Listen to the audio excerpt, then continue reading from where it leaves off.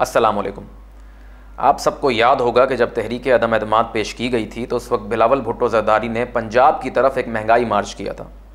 उस वक्त मैंने एक वीडियो बनाई थी, मगर अनफॉर्चुनेटली उसको मैं यूट्यूब पर अपलोड नहीं कर सका। इस वक्त अपलोड कर रहा हूँ, इसको देखिए इन्जॉय कीजिए। आपके फीडबैक का इंतज़ार रहेगा। थैंक यू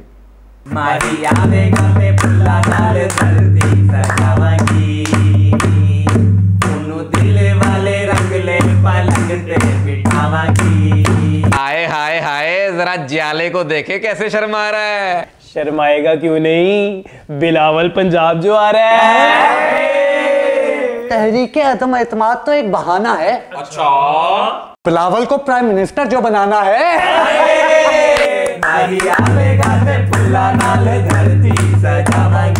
हिंदू दिल वाले रंगले पलंग पे बिठावन।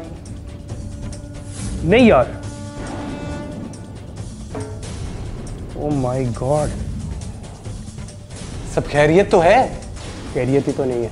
कासिम कासिम प्लीज़ बताओ मेरा दिल डूबा जा रहा है। अरे बिलावल तो ठीक है ना? अरे उनका कंटेनर तो ठीक है ना? इमरान खान ने पेट्रोल दस रुपए कम कर दिया है। नहीं! लग गई ना मेरी खुशियों को नज़र। कम बखत। अरे अभी तो तहरीक अदम एतमाद का हैशटैग भी लॉन्च नहीं हुआ था।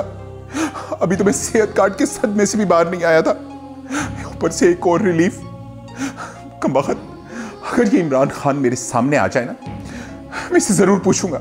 हाउ डेयर यू अरे यार फ़िक्र ना करो बिलावल जैसे ही पंजाब आएगा ना सब ठीक हो जाएगा। अरे अब क्या छनकना लेने आएगा? एक यही महँगाई का रोना तो रो रहे थे इसी बात पे तो हमने धरना देना था। आप किस बात पे धरना देंगे? नहीं वो यूक्रेन में वॉर हो रही है ना वो खान पे डाल देंगे आजकल सब चलता है। हाँ। और बिलावल को एक दफ़ा प्राइम मिनिस्टर बनने तो हम इससे ज़्यादा रिलीफ देंगे यार। मैंगो दोगे। इतना रिलीफ देने के लिए ना तीन बुट्टो और लग जाएँगे। सुनो, तुम रहने दो। पप्पू, इससे पहले कि मार्केट में जहर भी सस्ता होकर गायब हो जाए और सारे पटवारी गैरत के नाम पे खा के मर जाए, मेरे लिए एक पुड़िया लिया